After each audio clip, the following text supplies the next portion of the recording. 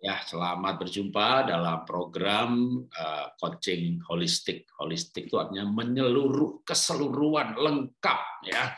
Supaya sembuh itu didekati dari semua aspek karena bisa sembuh dengan fisik, sembuh dengan jiwa, sembuh dengan roh. Bicara roh, maka di situ sebenarnya ada keyakinan, belief, sesuatu yang diyakini dengan banget. Maka untuk meyakinkan dengan banget, ya nggak ada ragu-ragu sedikit pun gitu ya itu perlu pendapat yang berulang, pendapat yang sama berulang-ulang oleh berbagai pihak. Kadang-kadang kita sakit tertentu, dokter bilang begini gitu ya, kita masih nggak percaya sama dokter A, jangan-jangan dokternya nggak bener nih gitu ya. Lalu ketemu dokter lain, eh ngomong gitu lagi. Kita ketemu yang bukan dokter, ya orang biasa sakit yang sama wah lalu sembuh dengan cara itu wah bener yakin yakin ya jadi ketika dua tiga orang bicara yakin nah di sini kita ada tiga narasumber ya, Ibu Sinta sebagai seorang psikolog ya, Pak Kairul Salim sebagai master ya, magister master science tapi juga Pak Ustadz. Nah, saya sebagai seorang praktisi kesehatan. Kalau sarjana saya teknologi pangan. Magister saya pendidikan. Nah, sebenarnya doktor saya itu sebenarnya malah justru di bidang agama, yaitu teologi. Maka saya pakai nanti ayat-ayat supaya oh ternyata dari dari Islam dari Al-Qur'an begitu dari Alkitab begitu. Tapi Alkitabnya saya ambil yang tidak ada hubungannya dengan surga neraka. Ya kalau surga neraka itu berarti teologi ya. Tiap agama beda-beda. Nanti kita jadi berantem gitu ya bisa berdebat. Tapi ini eh, yang hubungannya dengan kesehatan gitu ya. Bahkan saya ambil dari ayat yang sebenarnya nabi lintas agama istilah saya. Kenapa? Karena Nabi misalnya Abraham itu kan orang Yahudi aja belum ada. 400 tahun kemudian baru ada gitu ya. Islam belum ada apalagi Kristen. Ya Kristen baru abad Masehi gitu kan. 2000 tahun setelah Abraham lahir. Jadi sebenarnya bicara Ayub gitu ya itu ya ya keseluruhan. Raja Salomo atau Nabi Sulaiman ya sebenarnya Islam Kristen ada juga. Yang mungkin yang Buddha yang tidak ada. Tapi menurut saya saya ini berkongsi dengan orang Buddha dari tahun 92 jadi saya punya perusahaan IVA, juga PT Happy Liquid. Kongsi saya itu satu orang yang sama dan beragama Buddha. Sejak tahun 92, bisa dibayangin coba. eh? Sudah 30 tahun kita berkongsi bersahabat. Dan kongsi saya ini dia menyebut dirinya, saya ini Buddha sejati. Dan bagi saya, kata kongsi saya loh ya, ini kata kongsi saya, Buddha itu bukan agama, tapi nilai-nilai hidup anda bisa menjadi orang Islam yang mengajarkan nilai-nilai Buddha, ya Anda Buddha sejati juga. Anda jadi orang Kristen beragama Kristen, Anda menghidupi nilai-nilai Buddha, Anda Buddha sejati juga, gitu ya. Itu kata kata kongsi saya, gitu ya. Lalu saya berjumpa lagi dengan Pak Sugeng Waluyo, itu yang mengajari saya olah nafas MBSR, dan beliau itu certified dari John Kabat-Zinn di Jakarta, ya, dari Ketua Yayasan Upakara Bakti yang banyak melatih para purnawirawan ABRI Sampai saya pikir juga beliau ini Buddha gitu ya. Enggak Pak, saya Muslim Pak. Jadi saya punya teman banyak orang lintas agama ya. Oke, kita mulai sekarang. Nah, berbicara luka-luka hati ini banyak sekali ibu ya. Saya lihat sekali lagi dari fotonya ya. Kalau dari namanya sih ya yang laki-laki Pak Hendrarko, Pak Franz ya. Lalu yang lainnya Pak Rahmat Saleh, suaminya Pak Businta ya kan kayaknya yang lain ini wanita semuanya. Jadi mohon maaf dua bapak ya, saya bicara perempuan dulu, tapi sebenarnya sama juga ya. Kalau bapak laki-laki kan istrinya perempuan juga. Jadi tetap kontekstual kita bahas sedikit aja ya eh, mengenai perempuan. Jadi pas tadi habis seminar perempuan ya. Jadi tetap mulainya dengan saya awali regenerasi sel dulu ya singkat saja bahwa kita itu sembuh bisa lewat regenerasi sel. Di mana supaya terjadi ini bukan hanya soal deep sleep, minum vitamin, ada katalis enzim, uh, proteinnya protein sehat yang sudah dipotong-potong jadi asam amino, nutrisinya tepat sesuai golongan darah atau sesuai DNA, lewat olahraga, olah apa olah nafas, pH-nya ideal, saturasi ideal, tetapi juga nah ini dia, olah hati, olah pikir sehingga regenerasi selnya maksimal, maka sembuh, sehat, bahkan awet muda ya. Jangan awet menderita gitu ya sakit nggak mati-mati. Itu namanya awet menderita gitu ya. Lah terus gimana caranya? Dan kita sudah belajar saya ulangi lagi yang dari Bu Sinta ya ada lima level. Tertinggi itu spirit loh ya atau roh ya atau nyawa ya. Di mana ini paling atas walaupun paling kecil tapi sebenarnya paling atas tertinggi akan mempengaruhi seluruhnya nah Berbicara banyak ibu-ibu di sini ya, pesan juga buat istrinya bapak-bapak gitu ya. Wanita itu luar biasa. Kenapa luar biasa? Karena wanita diciptakan sebagai penolong. Ya, maka wanita itu sebenarnya diciptakan lebih kuat daripada laki-laki. Buktinya kalau nggak percaya ada dua bapak di sini gitu ya. Coba istrinya suruh libur ya. Mah, kamu libur dah sana biar kamu happy ya kita udah hidup bareng cukup lama, kamu kayaknya nggak pernah istirahat, kamu pergi dah ke rumah orang tuamu sana seminggu nggak apa-apa. Nanti anak gimana? Nanti cucu gimana? Aku mandiin udah, nanti ngepel rumah gimana? Jangan nggak dipel kotor, aku pel juga dah gitu ya. Nanti itu nyapu halaman ya aku sapu juga. Pokoknya semua yang ibu kerjakan, bapak kerjakan ya. Ibu suruh libur tujuh hari. Hari ketiga bapak sakit pinggang. jadi jadi pinggangnya wanita itu lebih kuat ya kan? Terus kakinya ya kuat wanita juga. Wong wanita itu penolong ya kan? Tuhan ciptakan wanita agama apa aja mengajarkan suami kepala istri penolong. Ada orang susah ditolong, ada orang jatuh ditolong, ada orang bangkrut ditolong, penolong sama yang ditolong itu kuat penolongnya ya maka kaki wanita juga lebih kuat. Ah enggak pak. Saya ini laki-laki yang rajin treadmill pak. Lari tetap kuat kaki wanita. Kalau enggak pak kalau enggak percaya coba bapak antar ibu ke mall. Ikuti ke mana dia pergi? Muter. Nanti bapak kakinya udah teklok itu ibu masih kayak rusa melompat ke sana kemari. Lihat kata sale sale sale wih matanya berbinar-binar. Kakinya nggak ada capeknya. Saya baru sadar juga sih ya. Pokoknya saya pikir saya ini rajin lari gitu ya. Kaki saya kuat. Kalah loh sama kaki wanita. Pinggangnya kuat wanita, kakinya kuat wanita, semangat hidup, wah apalagi semangat hidup. Laki-laki badannya besar, kumis kumisnya melintang, begitu bangkrut, gagal, sakit, itu itu itu patah patah semangatnya tuh gampang banget gitu ya. Tapi suaminya kena PHK, istrinya jualan kue, jualan pecel, bikin apa merintis, wah malah berhasil. Memang wanita punya daya dorong luar biasa. Semangat hidup, kuat wanita juga. Coba bayangin, betapa banyak jutaan wanita yang suaminya meninggal. Bisa jadi single parent loh. Nggak biasa kerja, gedebuk-gedebuk, menyesuaikan diri. Bisa kerja, bisa single parent Nah kalau bapak istrinya mati, kan tiga bulan kawin lagi, ya kan?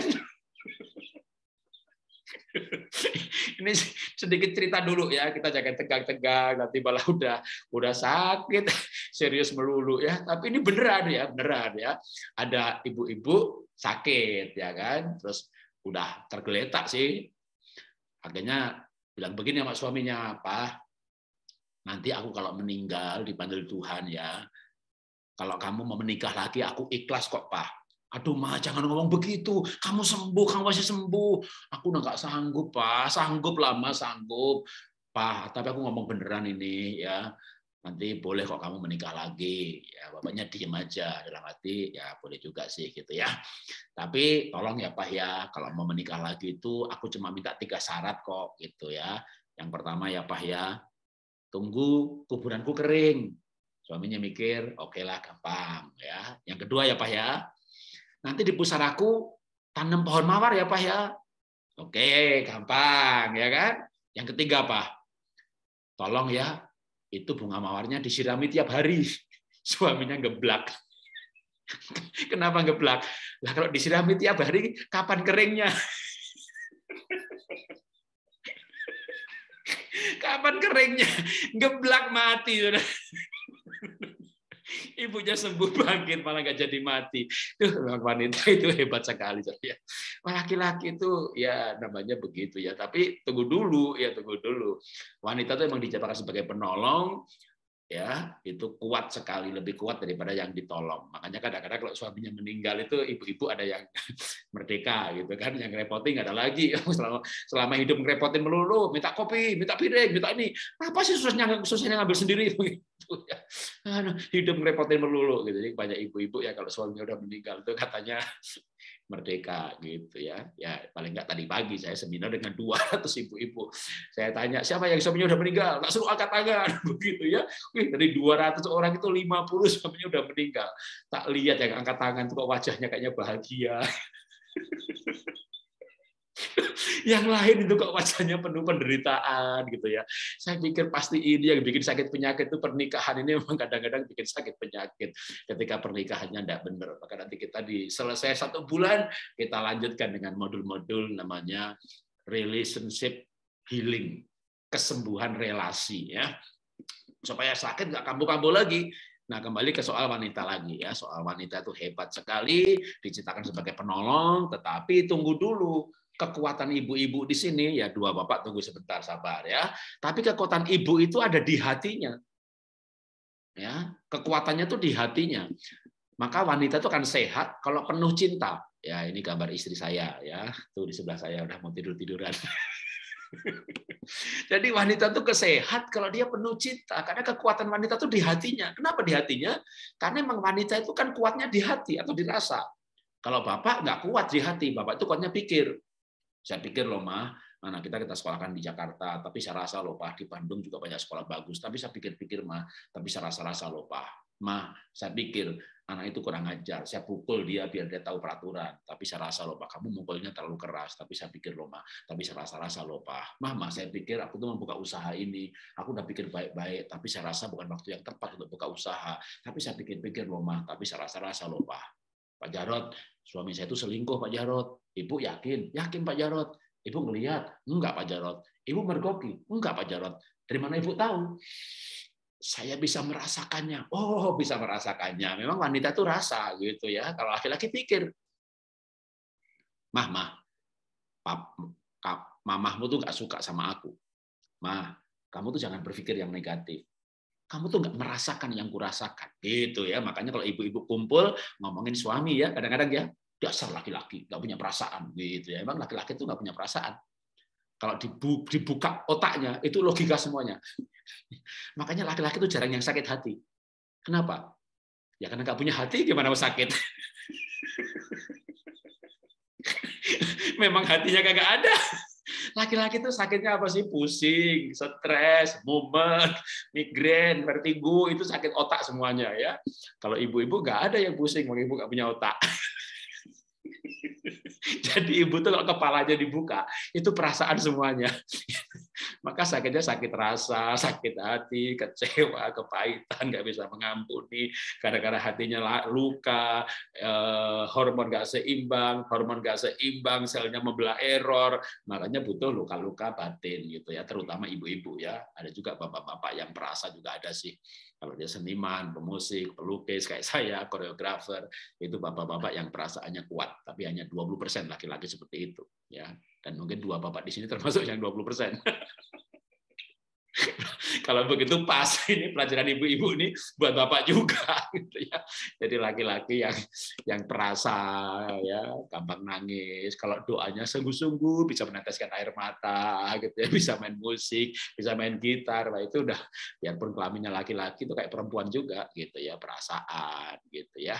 Nah, sekarang kita lanjutkan lagi laki wanita yang kuat di perasaannya atau laki-laki yang jenis seperti itu maka nah penting sekali yang namanya menjaga hati atau malam hari ini kan kita istilahnya tuh temanya inner healing luka-luka batin.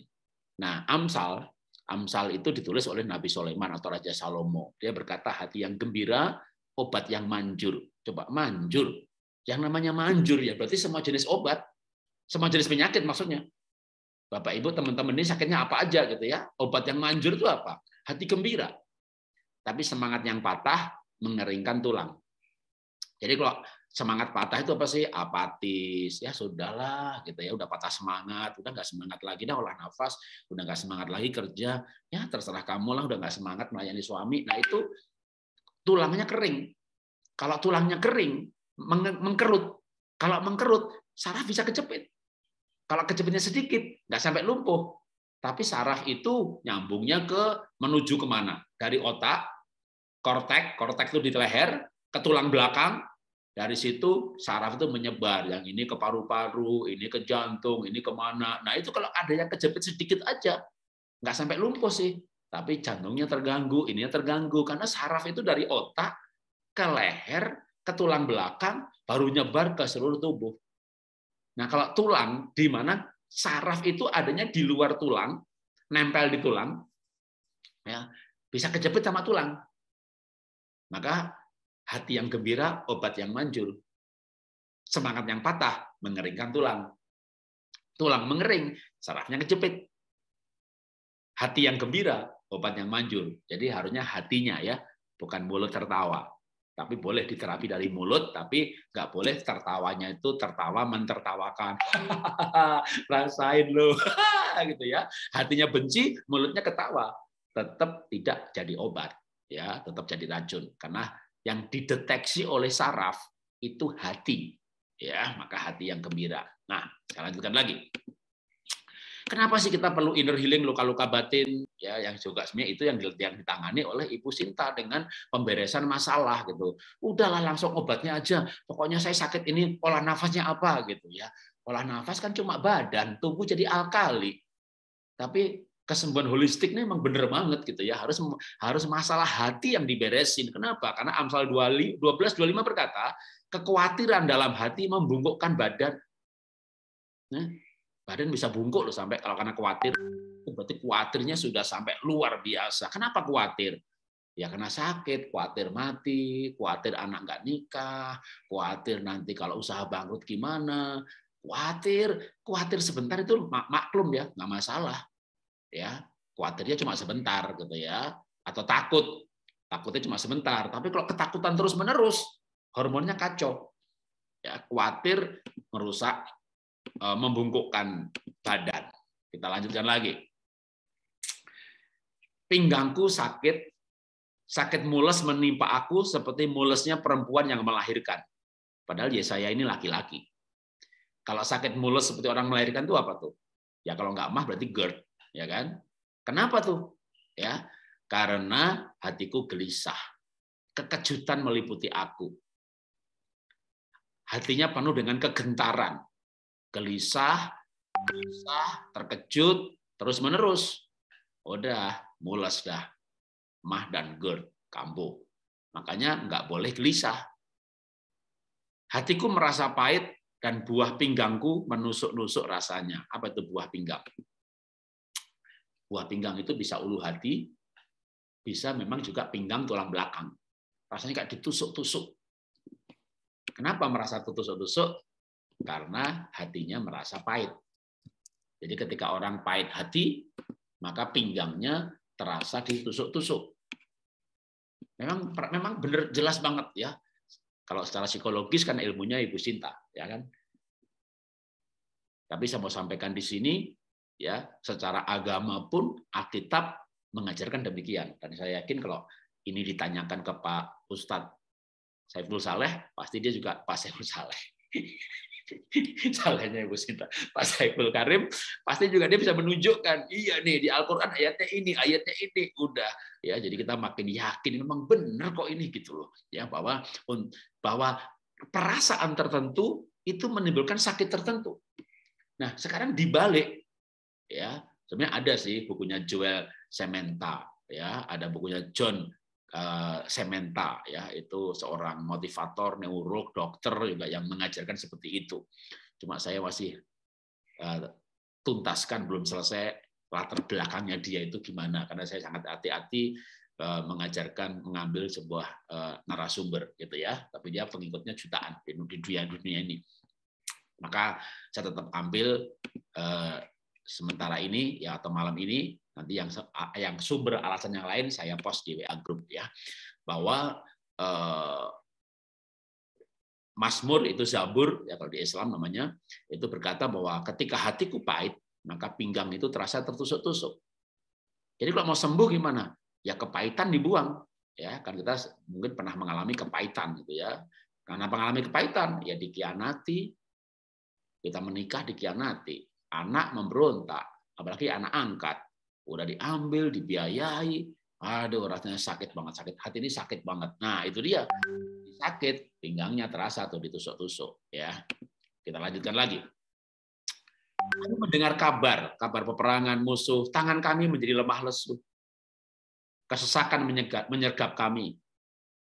Kesesakan, ketakutan, sama juga sakit mulus seperti perempuan melahirkan, mah sama girl. Aku terbungkuk-bungkuk. Kenapa? Karena sepanjang hari dipenuhi dengan duka cita. Makanya duka cita itu nggak boleh terus-menerus. ya.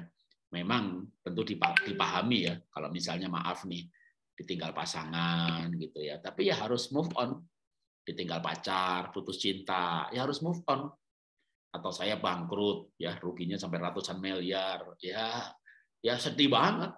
Nangis-nangis juga ada sih seminggu, dua minggu, tiga minggu. Tapi kan saya nggak boleh larut dalam kesedihan. Sedih sebentar nggak apa-apa, manusiawi. Takut sebentar nggak apa-apa, ya. Kalau mungkin kemarin saya pernah bicara, saya ulang lagi kadang-kadang saya lupa tuh kemarin itu bicaranya di mana yang sesi mana kebanyakan sesi hari ini aja udah tiga sesi gitu ya jadi ilustrasinya begini kalau teman-teman ketemu anjing katakan ya tetangga punya anjing lepas gitu gede lagi ya takut gitu ya ya takut cemas dia kaget wow gitu begitu kaget itu kita tarik nafas lalu tubuh ini meresponi lepas energi gula dilepas energi disiapkan Ke mana energinya? Ke otot. Kenapa? Kita siap untuk fight atau flight. Ingat modul sebelumnya yang autonomic nervous system, kita tarik nafas itu fight, siap berantem atau flight, siap terbang, siap lari, begitu ya. Wih ada anjing, waduh dilepas, lari lari lari, waduh pokoknya ada tetangga yang kita buka duluan. Ini yang paling dekat, bukan rumah sendiri, masuk ke situ, tutup pagar, gitu ya. Begitu tutup pagar, ada ya kita lepas nafas ya kan, ada lega, ah selamat, aduh, ah kita Hah, itu aja udah parasimpatetik nervous system. Waktu kita takut, kita lari. Hmm. Jadi waktu kita sambil lari, nafasnya nggak teratur. Dan waktu nggak teratur itu sebenarnya nariknya lebih banyak. Kenapa? Supaya lepas energi, lepas energi. Energinya ke mana? Ke otot, ke otot, ke otot. Gitu. Begitu masuk, ada rumah terdekat, pintunya buka, brak, kita masuk pagar, tutup, jebret, aman. Ah, aman. Ah, ya lepas nafas Nah, itu aja sudah parasimpatetik nervous system. Gulanya disimpan lagi. Energi kembali didistribusikan secara imbang. Otot dapat, jantung dapat, pankreas dapat. Jadi takut sebentar nggak apa-apa. Tapi kalau ketakutan terus-menerus, gelisah takut menerus, takut masa depan, takut nggak sembuh, takut mati, wah berhari-hari bangkrut, eh, dikianati, rugi, difitnah, berhari-hari sedih, berhari-hari takut, berhari-hari gelisah. Organ-organ vital tubuh kita kekurangan energi. Karena nafas kita jadi nggak teratur. Tanpa sadar nafas kita nggak teratur. Dan kita akan kebanyakan dalam kondisi fight mood atau flight. ya Fight siap berantem atau flight siap lari. Nah itu yang membuat kita sakit. Maka takut tuh nggak boleh terus-menerus sedih nggak boleh terus menerus ya wajar lah sedih ya. Waktu mertua saya dipanggil Tuhan itu kan di, rumah saya. Saya jagain lagi di rumah sakit. Sampai ke saturasi 72 saya mau tidur kayak Tuhan ingatkan jangan coba kamu duduk. Saya duduk sebelahnya gitu. Nafasnya pelan-pelan pelan-pelan sampai betul-betul nggak ada. Tapi tenang banget nafasnya pelan buang lagi. Tarik nafas pelan-pelan. Nggak pakai apa-apa waktu dia udah nggak sadar dua hari. Tapi nafasnya pelan-pelan sampai betul-betul berhenti. Ya tenang banget. Saya panggil dokter, dokter itu tolong dicek, dicek semuanya. Betul Pak, udah nggak ada. Oh ya sudah. Ya sedih, tapi nggak boleh lama-lama. Karena kalau sedihnya berkelanjutan, hormon kita kacau. Karena itu bukan saya tidak memahami ya, tapi memang kalau cerita apa yang terjadi, apa yang dialami oleh pasangan, oleh menantu, oleh anak, usahanya, udah pasti paham ya apalagi udah curhat sama Ibu Sinta dalam konseling satu demi satu ya pasti paham. Cuma yang saya mau tekankan adalah biasa pasti akan ikut paham juga kalau ikut dengerin gitu ya. Tetapi sedih berkelanjutan nggak ada gunanya, nggak mengubah keadaan. Maka kita harus mengambil keputusan secara dewasa. Tuhan, aku mau move on. Aku mau melanjutkan hidup ini dengan antusias, dengan sukacita, dengan sabar. dengan tabah. Sekalipun suami tidak berubah, mertua tidak berubah, tetangga tidak berubah. Jadi dalam inner healing itu sebenarnya yang paling penting adalah menyadari lukanya. Bahkan kalau waktu pas menyadari bisa nangis-nangis, bisa teriak-teriak. Ya. Tapi setelah itu mengambil keputusan untuk melanjutkan hidup dengan damai sejahtera, dengan penuh harapan, dengan sukacita, dengan melepaskan pengampunan. Makanya sebenarnya olah nafas atau kesembuhan holistik ini akan membawa kita yang paling lebih penting dari kesembuhan sebenarnya adalah jiwa kita sembuh, roh kita sembuh. Pola hidup, tujuan hidup, nilai hidup yang berubah. Dalam kehidupan yang demikian, satu persatu, badan kita sembuh. Karena kita mengalami ketenangan yang yang yang tidak dibuat-buat. Bahkan meditasi itu hanya latihan. Kalau John Kabat-Zinn berkata meditasi itu hanya latihan. Selanjutnya bagaimana kita punya ketenangan ini seperti kita ber, seperti kita tidur berjalan dalam kehidupan. Istilah dia tuh tidur berjalan dalam kehidupan. Tidur itu kan tenang, tenang ya. tapi dalam hidup. Atau seperti misalnya meditasi 24 jam. Artinya ya kita di pasar pun kita tenang. Kita kerja dengan cepat, tapi hatinya tenang. Nah, itu guna latihan adalah meditasi yang dibawa dalam kehidupan sehari-hari. Saya baca lagi bagaimana Nabi Ayub berkata begini. Dalam Ayub pasal 30 ayat 27. Batinku bergelora dan tak kunjung diam. Hari-hari kesengsaraan telah melanda diriku dengan sedih dan tidak terhibur. Ayub 30 ayat 30. Kulitku menjadi hitam dan mengelupas dari tubuhku. Tulang-tulangku mengering karena demam. Tapi yang menarik adalah soal kulitnya ini. Kulitnya hitam dan mengelupas. Kenapa? Karena batinnya bergelora tak kunjung diam. Banyak orang alergi, ya, alergi udang, alergi cumi, alergi kacang, alergi ayam juga ada, begitu makan ayam, aduh mencret, mules, sakit, alergi debu, ya.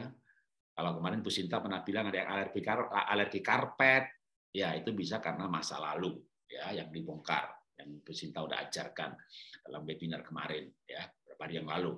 Tapi itu bisa juga karena hati yang terus bergelora.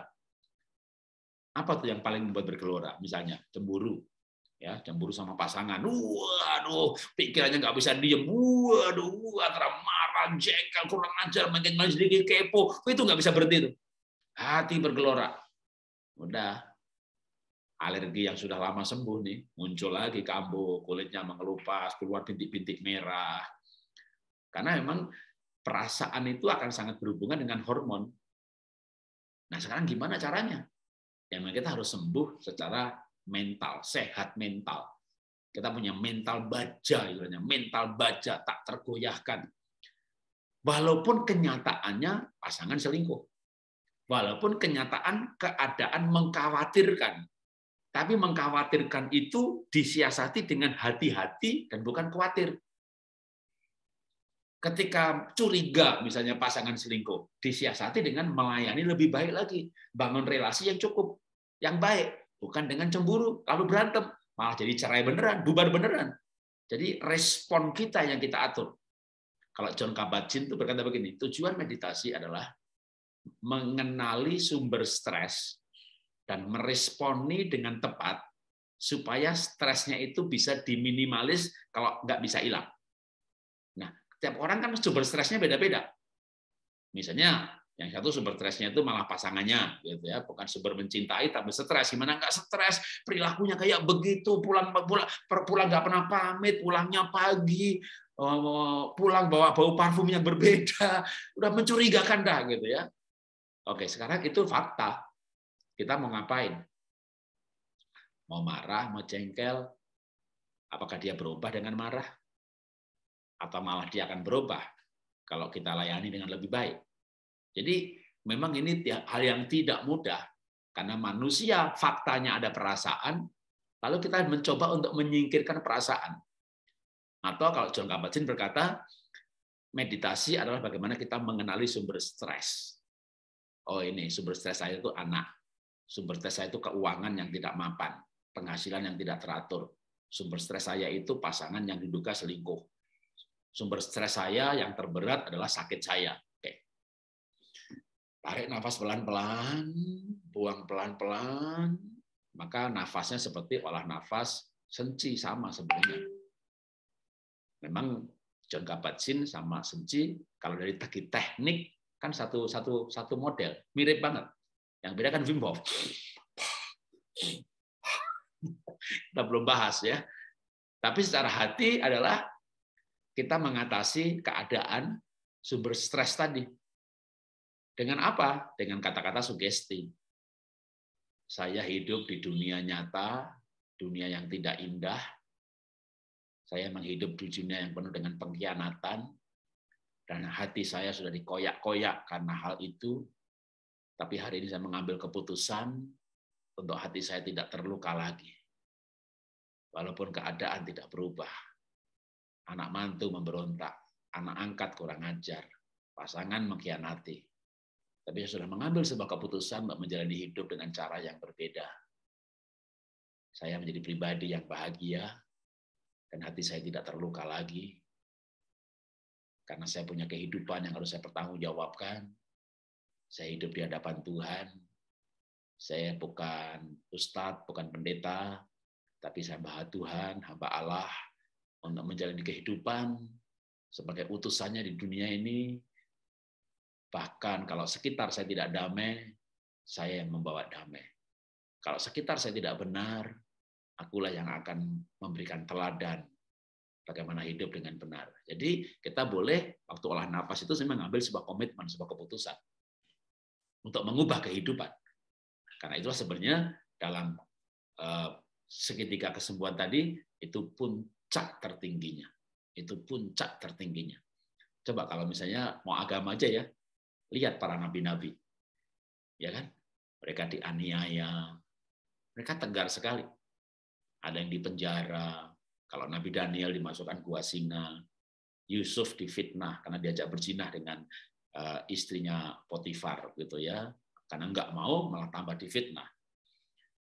Lalu dimasukkan ke penjara. Tapi mereka orang-orang yang tabah. Kenapa? Karena puncak tertingginya yang body soul-nya itu kuat sekali. Bahkan ketika mereka ketika dianiaya pun mereka nggak sakit. Kalau cerita di Alkitab pada Stefanus yang dilempari batu itu malah dia melihat sorga. Belum mati dia lihat sorga.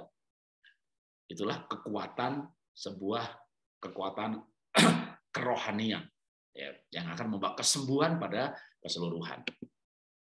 Saya lanjutkan lagi satu dua hal, habis itu kita praktek ya. Eh, mengulangi beberapa hal, ada dua slide lagi. Makanya kembali kepada Amsal, ya Salomo berkata, ya berarti ini sembuh dengan sugesti. Ini kalau mau ayatnya mana Pak orang bisa sembuh dengan sugesti? Amsal atau Raja Salomo itu berkata begini, perkataan yang menyenangkan adalah seperti sarang madu, manis bagi hati dan obat bagi tulang-tulang. Tulang itu termasuk saraf dan sumsum. Sumsum tuh saraf itu akar dari banyak penyakit. Jadi perkataan yang menyenangkan itu obat. Lidah orang bijak mendatangkan kesembuhan. Atau saya baca lengkap ya. Ada orang yang lancang mulutnya seperti tikaman pedang. Tapi lidah orang bijak mendatangkan kesembuhan. Gimana kalau teman-teman misalnya mendengar dengar pelajarannya Pak Saiful Karim ya. Kata-katanya menyejukkan ya. Dengerin aja enak. Betul? Dengerin aja enak. Itu itu membawa itu contoh bahwa lidah orang bijak itu membawa kesembuhan. Nah, kalau perkataan itu bisa seperti obat. Maka kita bisa gabung jadi satu. Kita aja yang mengucapkan supaya telinga kita mendengar. Itulah yang disebut dengan sugesti. Jadi kita berkata bahwa saya orang yang diberkati Tuhan. Saya sakit, tapi ini bukan kutuk. Ini pesan cinta dari Tuhan.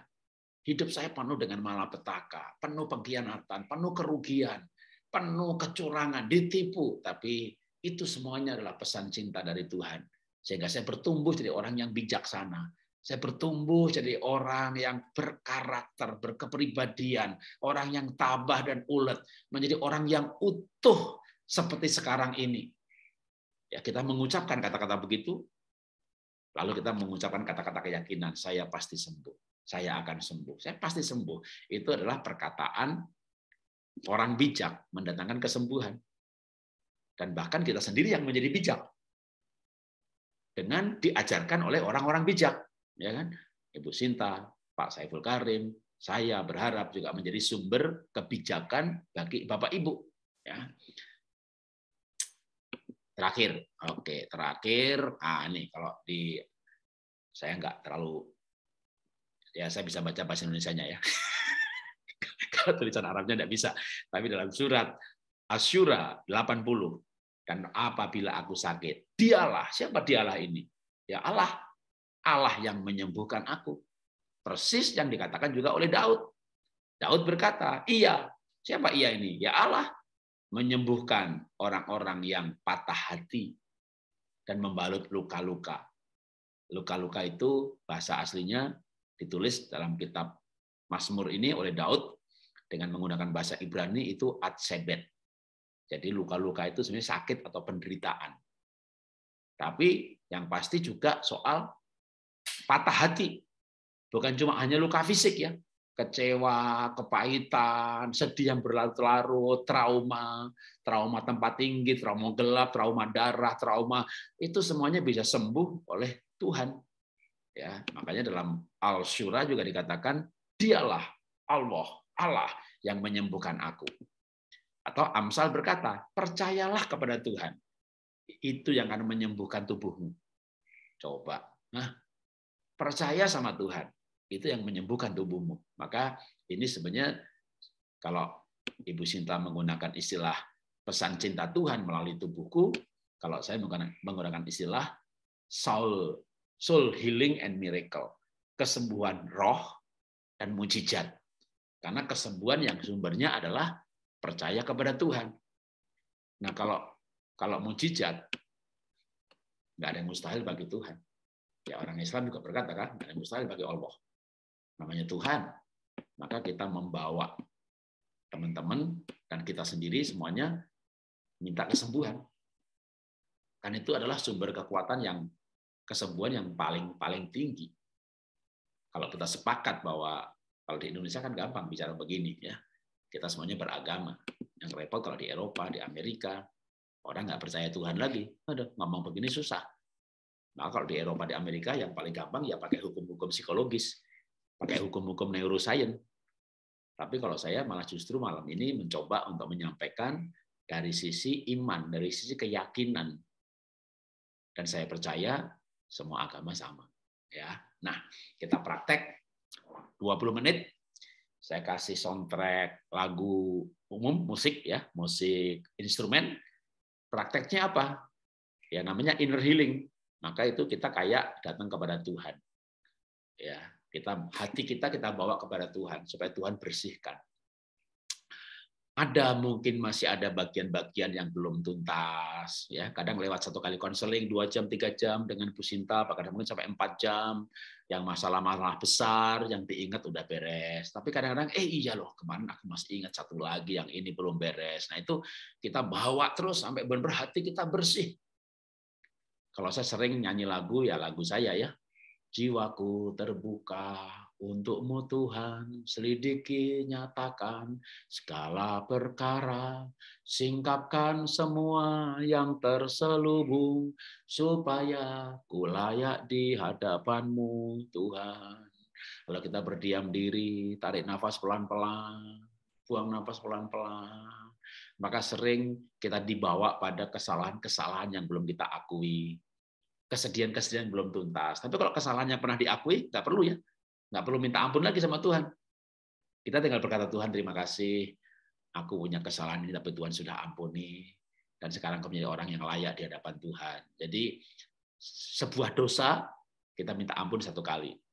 Lalu besoknya kita berterima kasih sudah diampuni. Terima kasih Tuhan sudah mengampuni dosa saya. Tuhan maha pengampun. Tuhan maha penyayang. Tuhan sayang sama aku. Tuhan ingatkan lagi, iya lu saya pernah bohong sama anak, saya belum minta maaf. Oke besok aku cari itu anak, aku mau minta maaf sama dia. Kita dibereskan hatinya. Itu namanya inner healing. Ya, atau masih ada kekecewaan. Aduh, saya masih ada kecewa sama mertua. Saya masih ada kecewa sama si itu. Aduh, itu dulu mantan pegawai aku kecewa banget sama dia, dia pernah tipu saya. Nah, kalau kita beresin semuanya, nanti tandanya itu waktu kita ingat kita nggak sedih lagi, kita nggak sakit hati lagi. Ingat ya ingat aja. Bahkan kita waktu ingat kita merasa bahwa aduh kita udah mulia banget hidup ini bisa mengampuni orang gitu ya. Kita hatinya berarti udah beres. Oke, kita akan langsung praktek saja ya.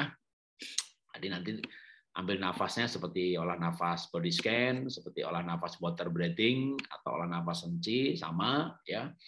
Nanti kita putarkan sebuah musik terus ya kadang-kadang saya akan berbicara Eh, teman-teman praktek tarik nafas pelan-pelan, buang nafas pelan-pelan ya.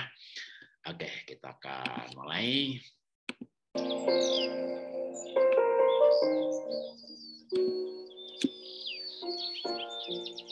Ya, kita ambil sikap doa dan kita mulai dengan doa sesuai dengan iman dan kepercayaan masing-masing.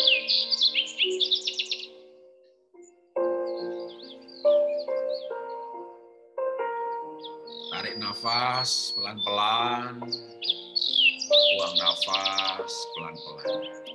Yang bisa 8 detik tarik, lalu 8 detik buang.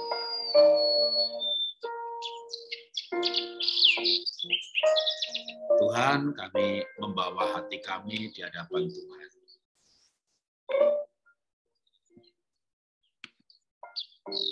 Karena Tuhanlah yang bisa menyembuhkan hati kami. Dan kami tahu, kami belajar ketika hati kami sembuh, jiwa kami sembuh, maka badan yang membungkus jiwa kami akan sembuh juga.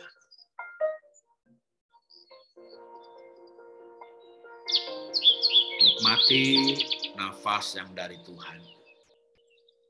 Seperti Ayub berkata bahwa nafas yang maha kuasa, nafas Allah yang maha kuasa yang menyembuhkan aku dan selama roh Allah ada dalam lubang hidungku.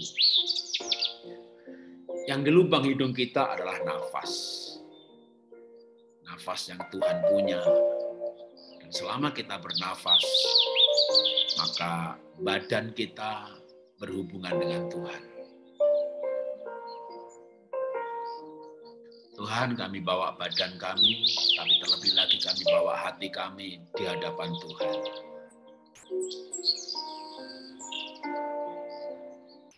ambil nafas pelan-pelan di hadapan Tuhan. Dan kami bawa hati kami di hadapan Tuhan.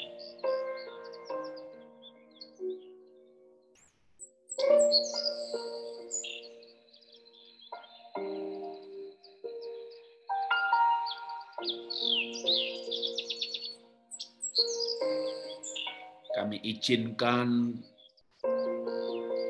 roh Tuhan, nafas Tuhan masuk ke hati kami. Menguasai ego kami, menguasai jalan hati kami, jalan pikiran kami.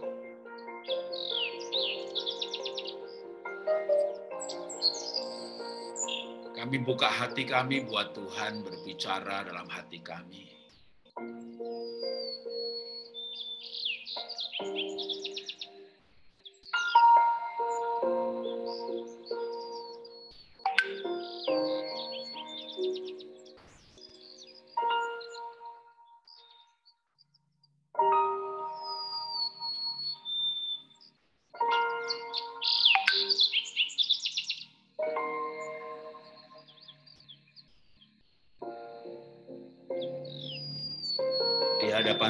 Tuhan kami membuang segala kecewa, segala kepahitan. Kami sadar kalau kami bernafas, maka nafas kami menghubungkan jiwa kami dengan roh Tuhan. Nafas masuk ke dalam hati kami, bukan hanya di paru-paru dan jantung, tapi darah yang juga adalah nyawa. Sampai ke relung hati kami. Dalam kitab Taurat Musa, orang dilarang makan darah. Ketika menyembelih hewan, maka darah ditumpahkan ke tanah. Juga ada tertulis bahwa darah itulah nyawa. Tapi juga ada tertulis bahwa roh Tuhan ada dalam lubang hidungku. Kita menarik nafas, dan nafas itu bercampur dengan darah. Darah itu menyebar ke seluruh tubuh, membawa kesembuhan. Tapi malam hari ini yang kami bawa ke hadapan Tuhan adalah batin kami, hati kami ya Tuhan. Kami sudah lama tinggal di dunia ini. Bukan hanya badan kami yang sakit, tapi kami mau jujur bahwa hati kami menderita. Kami sering gelisah dan tidak bisa tenang kami tidur dan tidak punya dan tidak bisa pulas. Kami memandang masa depan dengan kekhawatiran. Kami mengenang masa lalu dengan kepahitan.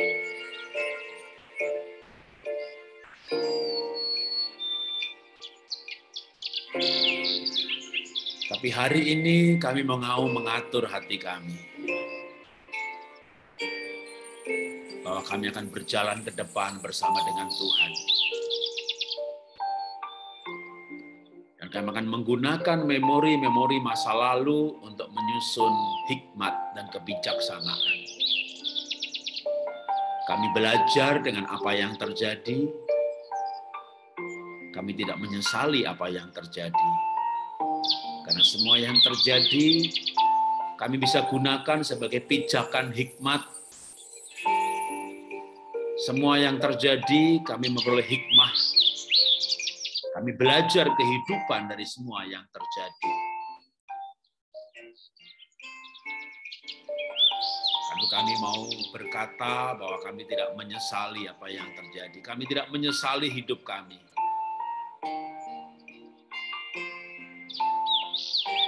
Kami tidak akan mempertanyakan keadilan Tuhan terhadap apa yang kami alami. Karena kami memandang semua yang terjadi adalah pembelajaran dari Tuhan. Supaya kami punya nilai-nilai kehidupan.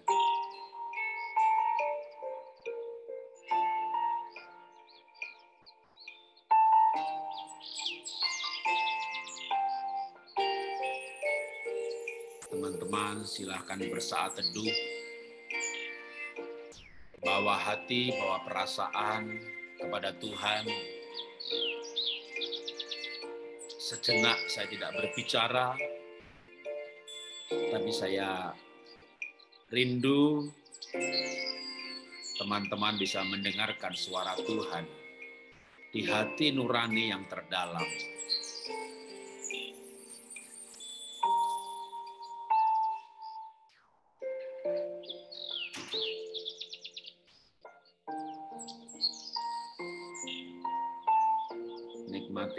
Nafas dan fokus pada hati nurani.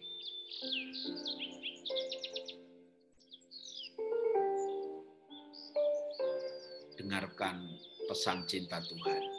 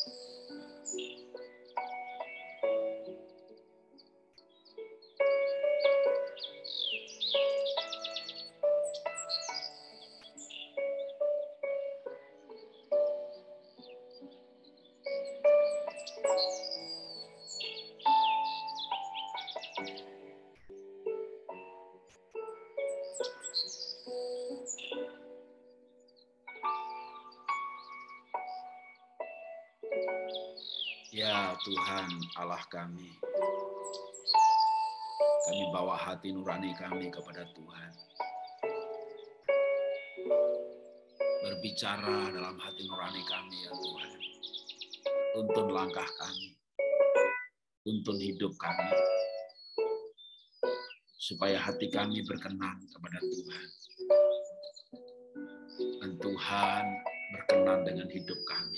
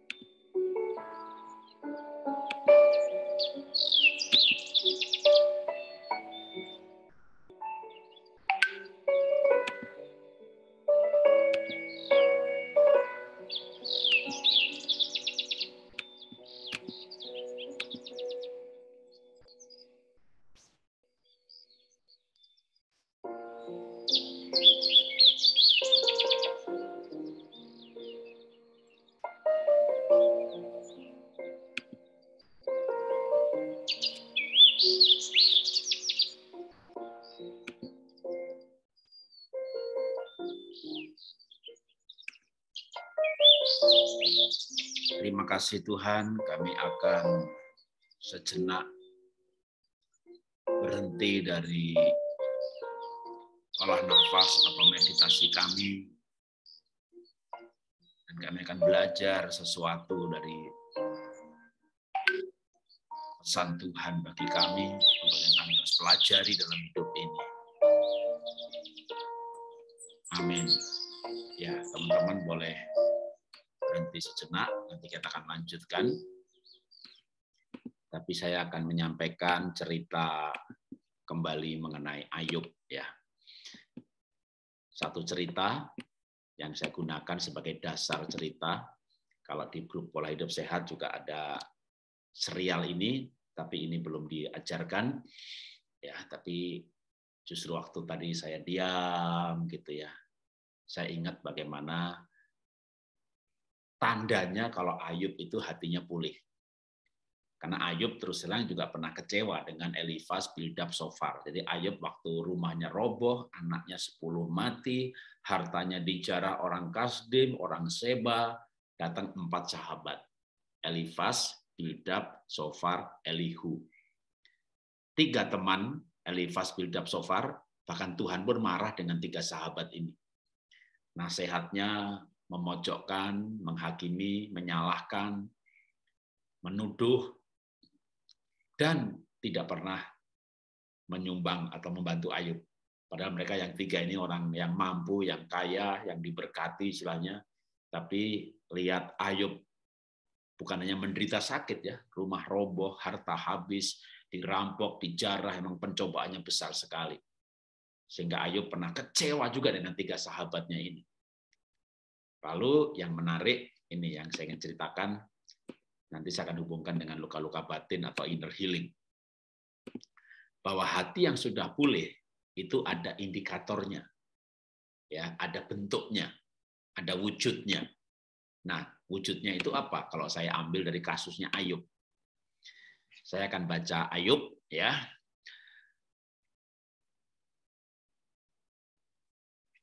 Ayub pasal 42, saya baca ayat 7. Setelah Tuhan mengucapkan firman itu kepada Ayub, maka firman Tuhan kepada Elifas orang Teman, murkaku menyala terhadap engkau dan terhadap kedua sahabatmu, yaitu sahabatnya Elifas dan Sofar. Karena kamu tidak berkata benar tentang aku, seperti hambaku Ayub. Oleh sebab itu, ambillah tujuh ekor lembu jantan, tujuh ekor lembu domba jantan, pergilah kepada hambaku Ayub. Lalu persembahkanlah semuanya itu sebagai korban bakaran untuk dirimu, dan baiklah hambaku Ayub meminta doa untuk kamu.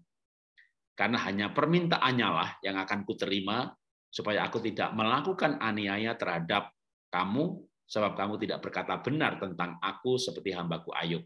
9. Maka pergilah Evas orang Teman, Bildab orang Suah, dan Sofar orang Naama. Naama itu orang Kanaan. Lalu mereka melakukan seperti yang difirmankan Tuhan kepada mereka, dan Tuhan menerima permintaan Ayub. Lalu Tuhan memulihkan keadaan Ayub. Jadi Tuhan memulihkan keadaan Ayub. Sakitnya sembuh, dan seterusnya. Setelah ia, Ayub, meminta doa untuk sahabat-sahabatnya. Dan Tuhan memberikan kepada Ayub dua kali lipat dari segala kepunyaan yang dahulu. Kemudian datanglah kepadanya semua saudaranya laki-laki perempuan, dan makan bersama dengan Ayub di rumahnya. Mereka menyatakan berduka cita, menghibur Ayub, karena malah petaka yang dialami. Lalu selanjutnya Tuhan memberkati hidup Ayub dua kali lipat, dan seterusnya. Jadi Tuhan memulihkan keadaan Ayub setelah Ayub berdoa untuk sahabat-sahabatnya. Nah ini menarik. Sahabat itu siapa? Yang Ayub doakan? Elifas, Bildab, Sofar. Yang Ayub tuh pernah kecewa dengan tiga orang ini karena nggak pernah nolong. Lalu Ayub berdoa untuk sahabatnya. Tunggu, tunggu, tunggu. Yang sakit siapa sih? Yang sehat siapa? Yang sakit Ayub. Jadi Ayub bukan didoakan, Ayub malah mendoakan sahabatnya yang sehat-sehat. Yang rumahnya roboh siapa sih? Ayub. Ayub berdoa buat temannya yang rumahnya nggak roboh. Yang bangkrut siapa sih? Yang domba lembu sapinya dijarah orang kasdim, orang seba dirampok. Ayub. Yang lain dombanya banyak, nggak nolong lagi. Siapa berdoa untuk siapa? Ayub berdoa buat mereka. Ini doa yang tidak mudah kalau hatinya belum pulih. Contoh nih ya, kita buka toko, lagi laku-lakunya, datang orang toko sebelah buka, banting harga, bangkrutlah kita. Bisa berdoa buat toko sebelah supaya diberkati? Tuhan berkati aku dong. Dia udah banyak. Eh, Anda punya mobil? Nggak punya. Punyanya motor. Punya adik, punya ipar, motornya, mobilnya tiga. Dipinjem aja nggak ngasih. Ngata-ngatain lagi. Bisa berdoa buat ipar yang nggak pernah minjemin mobil tadi? Tuhan tambahkan mobil ku dong Tuhan. Eh, bisa tambahkan mobilnya? Ayub ini sama Tuhan diminta berdoa buat temennya yang kaya, temennya yang dombanya banyak, temennya yang sehat. Sementara Ayub itu yang sakit. Lembu sapinya habis. Kok saya punya tafsiran tersendiri ya? Apa sih tujuannya Tuhan minta Ayub berdoa buat orang yang lain? Gimana kalau di sini teman-teman tak bilangin, ayo teman-teman berdoa ya buat anak, buat tetangga, buat adik yang sehat-sehat. Loh Pak, Pak Jarod, aku nih yang sakit Pak. Masa aku doain yang lain? Ya aku doakan aku dong. Apalagi sakitnya itu misalnya gara-gara kalau istilah di camp dulu gara-gara kunyuk gitu ya. Sekarang kita mendoakan dia. Lah, saya sakit hati itu kan ditipu sama dia. Saya bangkrut tuh ditipu sama dia. Kok sekarang saya doain dia? Doanya gimana coba? Hah? Saya pernah kan, kan saya itu orang miskin yang merantau ke Jakarta. Tahun 90 saya tinggal di pinggir kuburan, Kuningan, Jakarta. Kontrak rumah 450 meter persegi. Eh, kontrak rumah 36 meter persegi. Kontraknya 450 ribu untuk 6 bulan, tahun 90. Jadi sebelah saya tukang bakso, sebelah saya tukang sapu, sebelah saya office boy, lompat tarik ke pisang, saya tinggal di situ. Kita suami istri bekerja, belum ada anak, kita kerja keras, kita nabung, kita hemat, hemat, hemat, hemat, supaya bisa beli rumah. Akhirnya kita bisa beli tanah 800 meter, gede. Tapi tanah kosong, karena kita pikir nanti nabung lagi beli rumah. Eh, ditipu. Tanahnya sengketa. Orang lain datang matok pagar. Waduh, panjang ceritanya deh. Waduh, sebulan, dua bulan, setahun, dua tahun, tiga tahun, lima tahun, enam tahun, nggak beres-beres.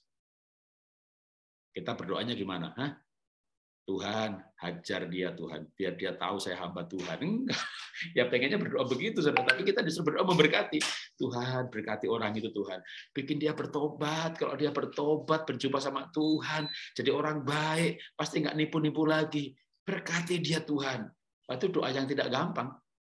Dan saya berdoa sama istri, kita diajar, kita mesti berdoa begitu nih. Kalau kita nggak doa begitu, kita yang mati berdiri. Kita nagih. Ya Pak Jarod, mohon maaf, minta waktu dua minggu. Ya kalau dua minggu saya tunggu dong. dia mau balikin duitnya gitu ya. Dua minggu, jadi dua bulan, jadi dua tahun. Aduh, panjang deh ceritanya deh. Itu gandoli banget hati saya itu ya, karena ratusan juta nilainya. Dan saya orang yang kalau punya rumah tiga ditipu satu ya nggak apa-apa. Kita nggak punya rumah lalu beli, ditipu lagi. Aduh, nggak gampang, nggak gampang. Saya yakin Ayub tuh mendoakan sahabatnya nggak gampang, karena sahabat itu nggak nolong dia. Tapi Tuhan minta, ini kan menarik kan. Saya tuh mencoba berpikir, kenapa ya Tuhan minta Ayub suruh doakan orang-orang yang menjengkelkan? Itu tanda kalau Ayub hatinya sudah pulih. Jadi kayak inner healingnya itu sudah selesai. Kalau saya ini belum bisa mengampuni, mana bisa saya mendoakan orang yang nipu saya? Tuhan, berkati dia Tuhan. Kalau Tuhan berkati dia nggak nipu lagi. Dan mungkin dia nipu karena dia mungkin dia nggak diberkati. Atau dia memang belum bertemu dengan Tuhan, belum mengalami perjumpaan dengan Tuhan. Jadi gak gampang, gak gampang, gak gampang saya ditipu ratusan juta. Kalau saya masih ingat dulu ya sempat berdoanya tuh begini, Tuhan, aku ini kan hambamu ya Tuhan. Itu orang kurang ngajar sama saya Tuhan, hukum dia Tuhan, biar dia tahu tuh Tuhan, bakar dengan api Tuhan dari surga.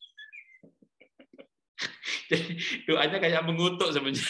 Jadi bukan doa itu kutuk itu sebenarnya mengutukin gitu kan. Bentuknya aja doa ya kan orang beragama ya mengutuknya dalam bentuk doa. Tapi di hadapan Tuhan itu kan bukan doa itu kutuk sebenarnya. Ngutuki orang lain tapi karena beragama ya kutuknya dikemas dalam bentuk doa gitu ya. Tapi Tuhan itu kan nggak lihat bentuk gitu. Oh berdoa enggak Tuhan lihat hati. Tuhan tuh lihat motivasi. Hati kita tuh apa? Makanya hati pulih itu ya sebenarnya ada bentuknya, ada indikatornya, dan nggak gampang, tapi bisa, bisa, ya bisa.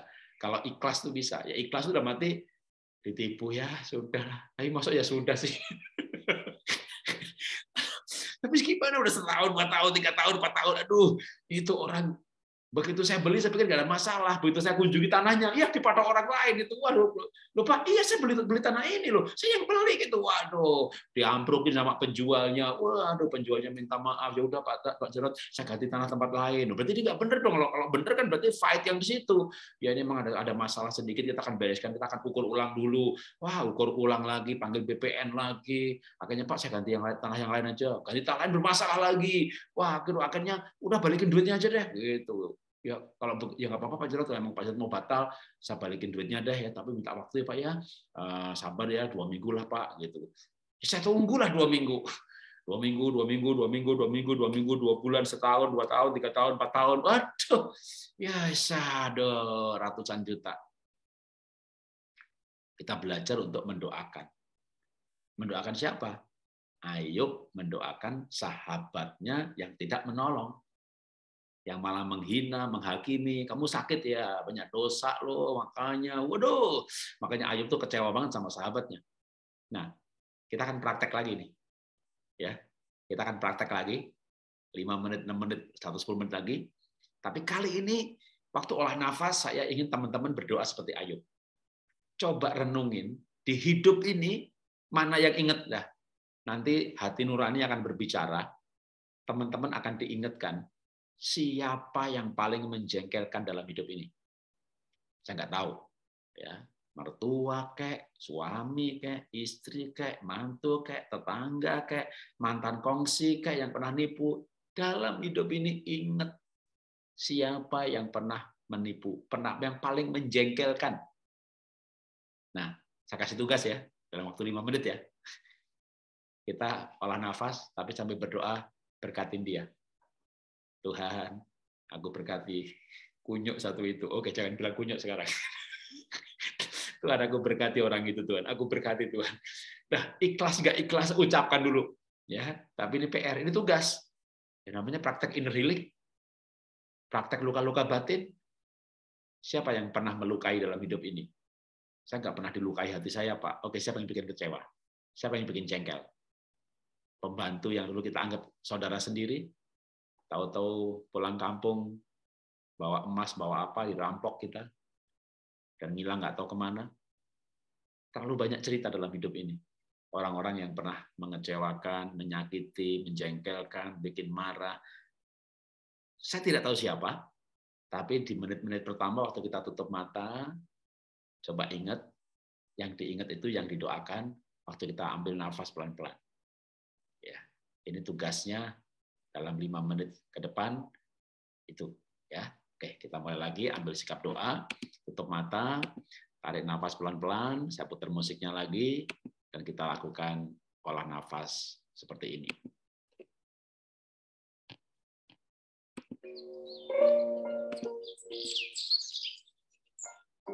Tuhan, kami bawa hati kami ke hadapan Tuhan. Ingatkan dalam hati nurani kami orang-orang yang pernah menjengkelkan kami, yang pernah mengkhianati, yang bikin kami sakit hati, yang membuat hati kami terluka.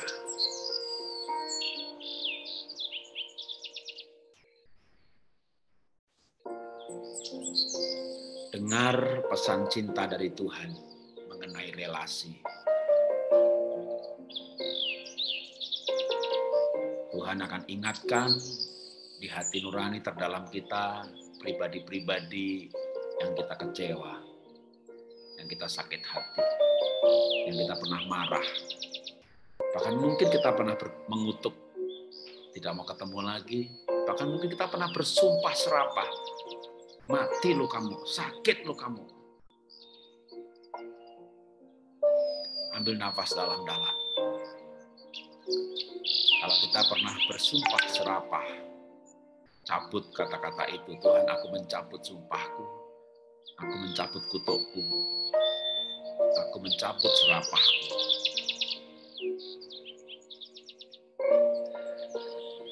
Tidak mudah tapi kalau pernah mengacap, mengucapkan kata-kata kutuk, kata-kata sumpah serapah, bahkan mungkin anak sendiri yang kurang ajar, dan seorang ibu berkata kepada anaknya, mudah-mudahan kamu nggak punya anak, ya kamu nggak merasakan diberontak anak kayak mama seperti itu, kamu merontak mama.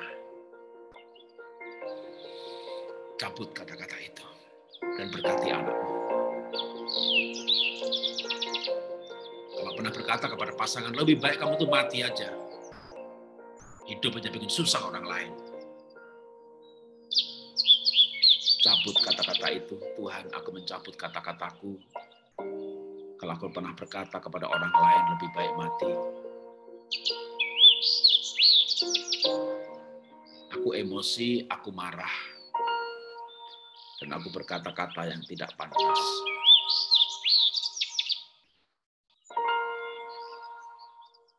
Atau pernahkah teman-teman bahkan mengutuk diri sendiri? Lebih baik aku mati daripada hidup susah seperti ini. Cabut juga kata-kata kutuk kepada diri sendiri. Nanti kenapa pernah mengucapkan kata-kata kutuk? Karena ada orang yang membuat kita kesal, kecewa, marah, jengkel, kecewa, kepahitan.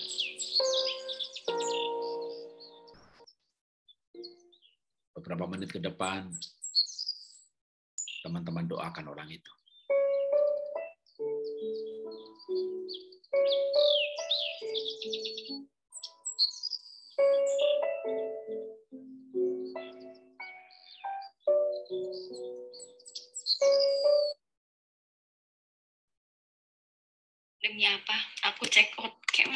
Kathy glow up tuh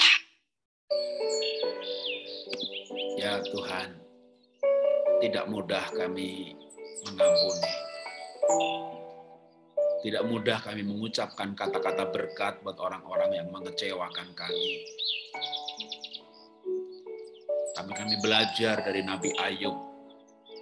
Dia berdoa untuk Elifas, Bildab, dan Sofar yang menjengkelkan. Yang tidak pernah menolong, yang menghakimi, yang mengata-ngatai, yang menyudutkan. Ajari kami ini hamba-hambamu ya Tuhan. Juga untuk bisa memiliki hati yang mulia, hati yang dewasa, lepas dan bebas dari kecewa, lepas dan bebas dari kepahitan. Aku berdoa buat orang-orang yang mengecewakan aku. Aku berdoa buat orang-orang yang membenci aku. Aku berdoa buat orang-orang yang memfitnah, menyingkirkan, menyepelekan. Pernahkah teman-teman seperti diinjak-injak harga dirinya, diremehkan, direndahkan, disingkirkan, dan hatinya tersayat. Dan mungkin dalam keadaan terluka, tersayat, bahkan kita mengucapkan kata-kata kutuk dan sumpah serapah kepada orang itu. Ya Tuhan, kami mau tunjukkan bahwa hati kami pulih.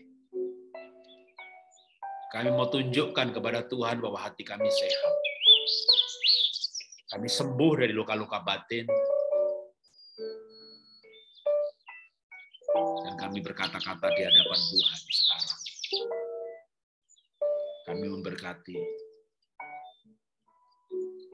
Kami berdoa buat orang itu ya Tuhan. Biar mereka juga mengalami perjumpaan dengan Tuhan seperti yang kami alami. biar mereka juga mengalami pembelajaran-pembelajaran kesembuhan roh, kesembuhan batin seperti yang kami alami mereka menemukan tujuan hidup dan makna hidup seperti yang kami alami.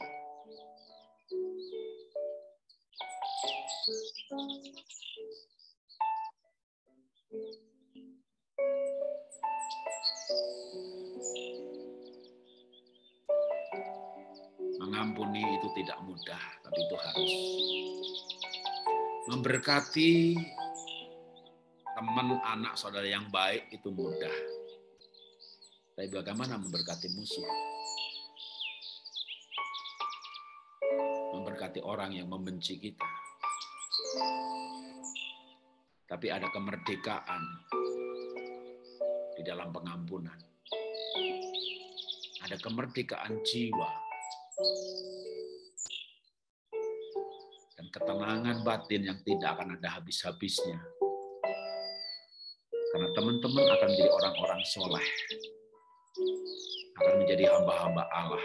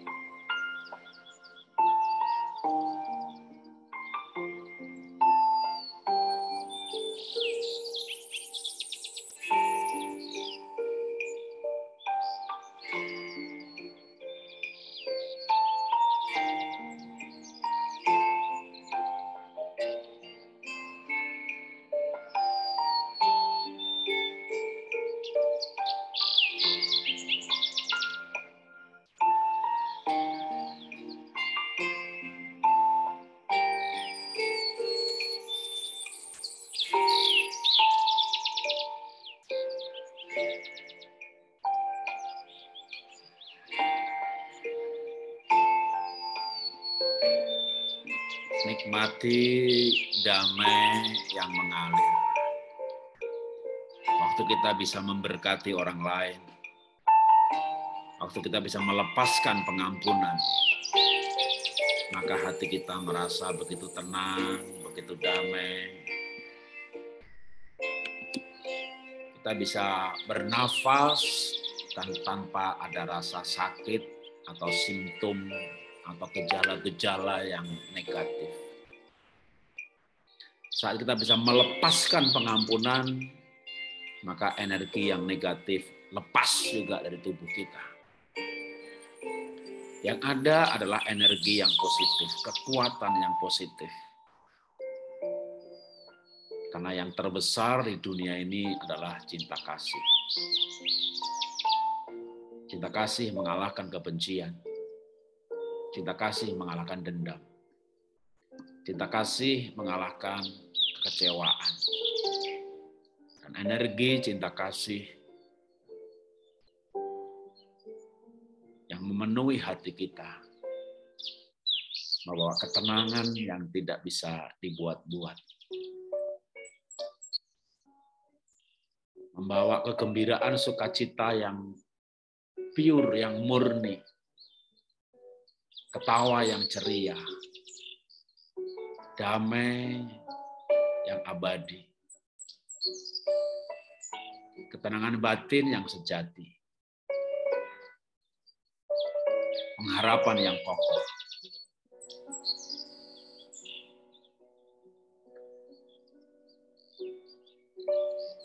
Kalau Pak Saiful berkata bahwa Tuhan itu cahaya atau terang, tapi juga ada tertulis bahwa Allah adalah kasih. Barang siapa ada di dalam Allah, maka kasih tinggal di dalam dia. Dan barang siapa mengasihi, maka Allah bersamanya. Hanya dengan kekuatan cinta kasih kita mampu memberkati, mendoakan orang-orang yang menganiaya kita yang menyakiti, yang mengecewakan. Dan dengan kuasa itu kita melepaskan pengampunan. Kita terbebas dari sakit hati. Kita terbebas dari kekecewaan. Kita terbebas dari luka-luka batin. Ketika yang ada dalam batin atau hati nurani yang terdalam adalah cinta kasih, maka menjadi sangat berbeda waktu kita mengambil nafas dari Tuhan.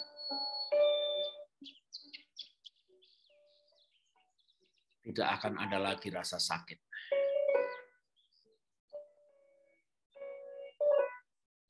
Teman-teman akan menikmati meditasi. Teman-teman akan ketagihan, merasakan kenyamanan,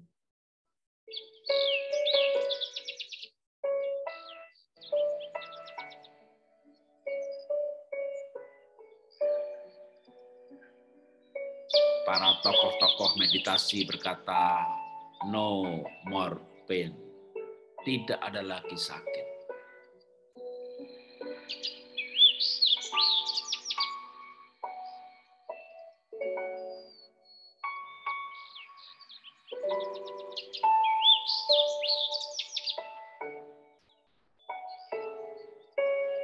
Kalau saya mau berkata bahwa kuasa kasih itu bisa menyembuhkan.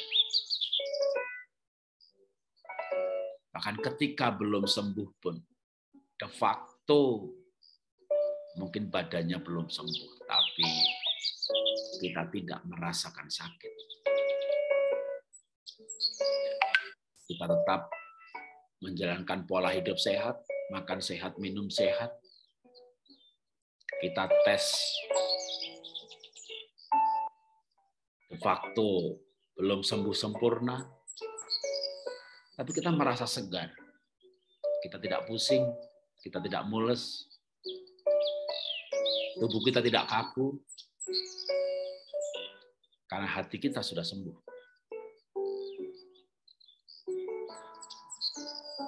Perlahan sesuai dengan lajunya regenerasi sel, maka badan kita akan mengikuti batin kita.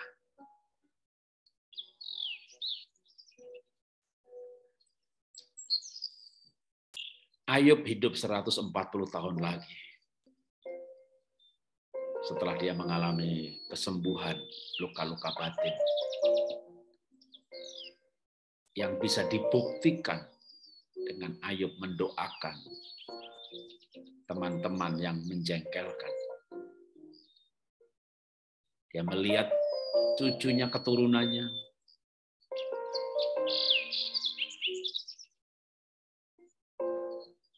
Terima kasih Tuhan. Kami berdoa dan kami percaya kami akan punya kualitas hidup yang baik. Kami akan melihat keturunan kami dengan keturunan yang perkasa di bumi.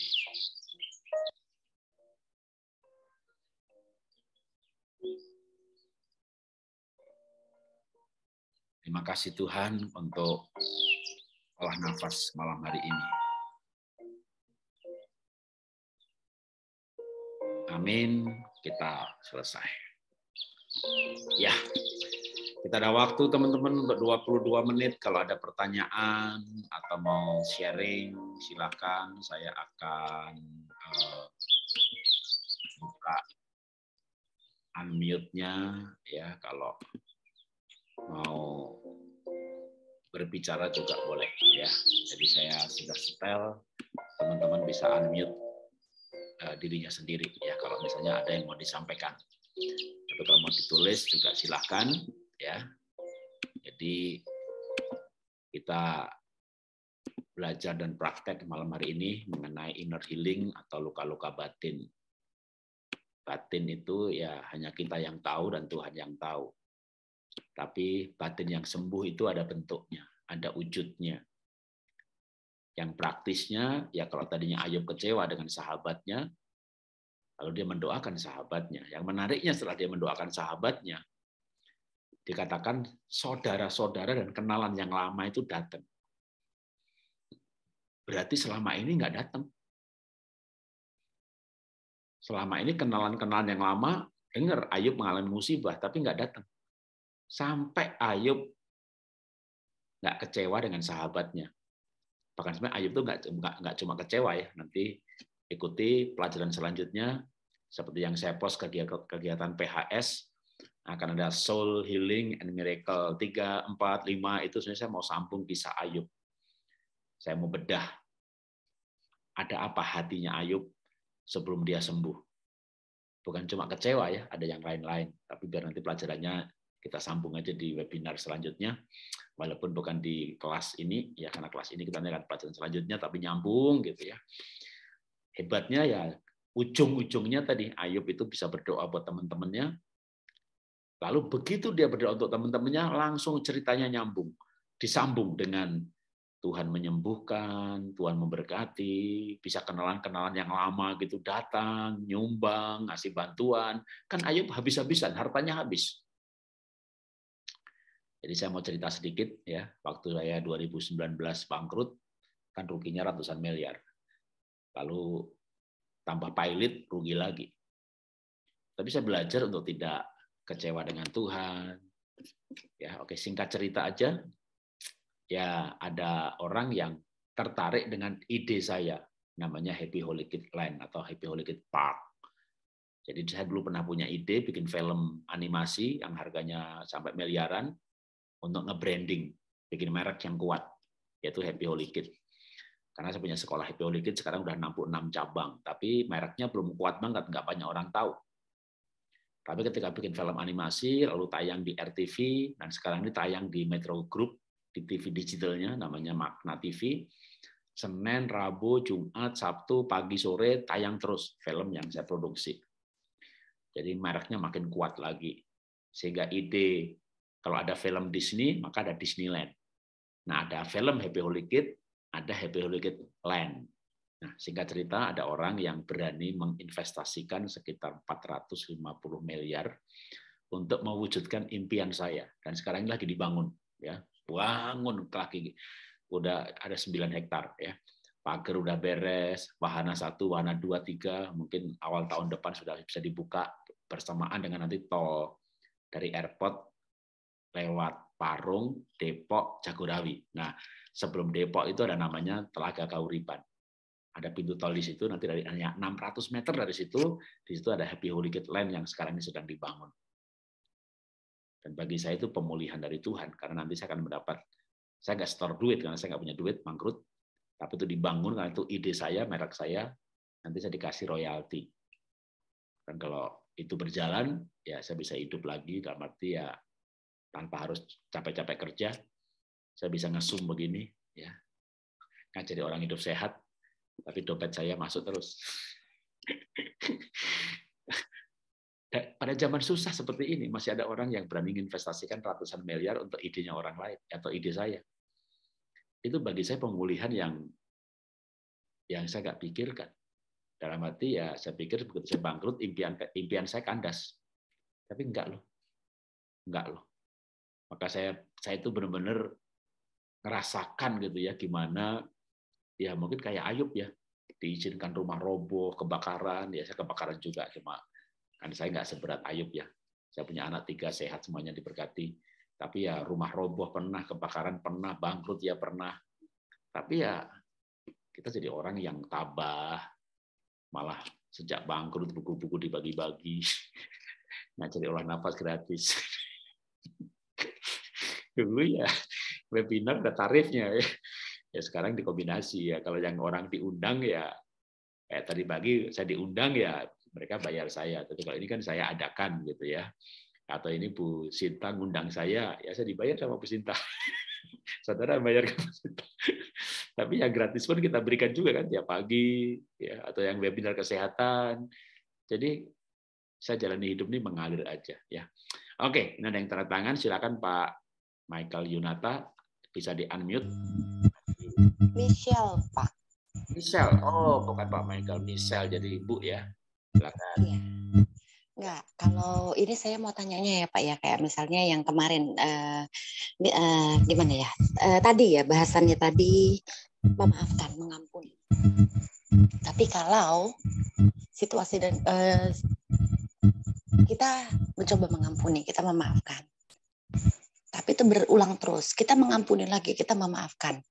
Ya seperti yang diajarkan kita harus memaafkan terus. Tapi kondisinya itu misalnya contoh eh, bertaruh nyawa. Oke. Okay. Apa kita harus diam? Hmm. Oke. Okay. Apa kita harus diam, kita terima, kita pasrah ditindas? Karena buat saya nggak boleh pasrah. Kalau pasrah kita kalah. Kita berserah, bukan pasrah. Beda kalau buat saya ya Pak ya. Nah, sekarang kalau kita cuma pasrah, pasrah. Ini omong kasarnya, uh, lu bego kelewat bego apa kelewat baik gitu loh itu kan uh, saya pernah digituin pak saya pernah digituin sama teman-teman saya lu tuh lu tuh bilang lu baik cuman baik lu tuh jadi cenderungnya jadinya kelewat bego katanya lu harus misahin itu beda tipis banget bego sama sama sama sama baik katanya jadi lo harus diem kalau misalnya mati di situ. Ini contoh, ini contoh saya bilang ya Pak ya. Contoh uh, ini saya uh, apa yang saya ceritakan ya Pak ya. Uh, ini ya dalam kasus tertentu sampai KDRT, pukul, injek, tendang, kita bicara dulu pernikahan, yang ada yang belum cerai. Jadi permasalahannya saya bikin permasalahan umum ya. Gimana sikap kita? Ya, ketika orang lain salah, kita harus mengampuni. Tapi ketika itu sudah menyangkut nyawa, maka sebenarnya sudah berbeda. Ya, berbedanya ya kita harus mengutamakan keselamatan. Misalnya katakanlah masih suami istri tinggal bersama serumah, lalu pasangannya melakukan KDRT yang sampai menyangkut nyawa. Ya karena KDRT-nya udah fisik maka sebenarnya boleh pisah. Dalam arti minam tahap pertamanya misalnya pisah rumah. Pulang ke rumah orang tua. Apa? Karena kalau enggak ya mati. Digebukin terus ya. Kalau digebukin dipukulin ya kita mengampuni, tapi juga harus menyelamatkan diri. Bahkan kalau di Eropa, di Amerika, di Australia, sebenarnya boleh lapor polisi. Karena di sana hukum itu kuat sekali. Nanti akan di bench. Jadi misalnya suami, jangankan pukul, mengancam dengan kata-kata aja, saya bunuh kamu, padahal cuma ngancem. Istri lapor, udah, nggak boleh mendekati dengan lebih dekat dari 50 meter. Jadi orang bapak nggak bisa ketemu anaknya lagi. Itu begitu. Kenapa dikasih 50 meter? Karena di sana itu kayak polisi preman pakai baju biasa itu di mana-mana. Kita pencet kalau misalnya kayak 911 begitu nggak tahu dari mana datang aja perlindungan gitu ya. Itu pun bahkan boleh dilakukan. Kenapa? Karena istilahnya tetap safety first. Tapi dalam kondisi lapor polisi segala macam, hati kita mengampuni, tapi tetap keamanan nomor satu. Badan tetap tidak kalau ini belum ya, seandainya belum bercerai kasusnya supaya juga sekaligus untuk yang lain ya.